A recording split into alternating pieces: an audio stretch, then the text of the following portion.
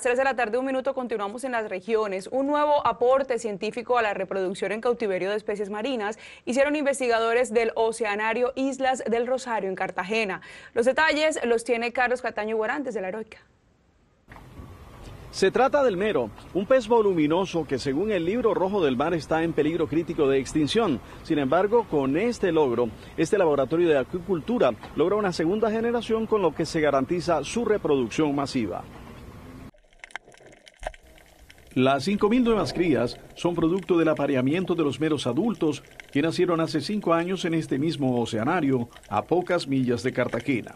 Esta segunda generación que nació en tanques semisumergidos en el mar se cultiva bajo el cuidado de expertos en acuicultura y a salvo de depredadores con lo que se garantiza la supervivencia de la especie. Al dominar la reproducción, podemos en un futuro cercano ya comenzar a generar juveniles para poder repoblar nuestros mares, recuperar esta especie en nuestro hábitat y también generar juveniles para generar alternativas en la acuicultura marina, en, en, el engorde de peces marinos. La reproducción en cautiverio será cada vez más numerosa por la fertilidad de los reproductores y la experiencia del equipo científico en protocolos genéticos, el cultivo y la conservación de los ejemplares. Ya se eh, han afinado las técnicas del paquete tecnológico para precisamente comenzar a, producir eh, en masa y comenzar a generar eh, tanto a la ciencia como a la conservación. Por ser una especie resistente a los cambios meteomarinos y alcanzar dimensiones de 3 metros de longitud y hasta 400 kilos de peso,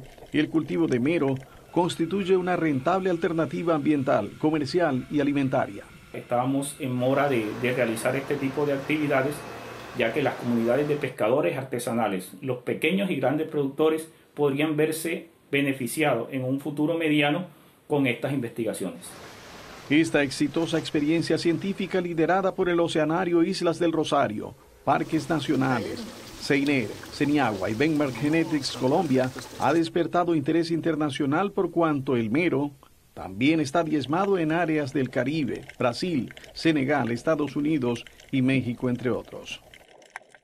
A largo plazo, la meta es la reproducción masiva del mero en cautiverio. Con esto se busca repoblar su hábitat natural, donde el avistamiento de los ejemplares era escaso. Desde Cartagena, Carlos Cataño, Iguarán, Noticias Caracol. Carlos, gracias.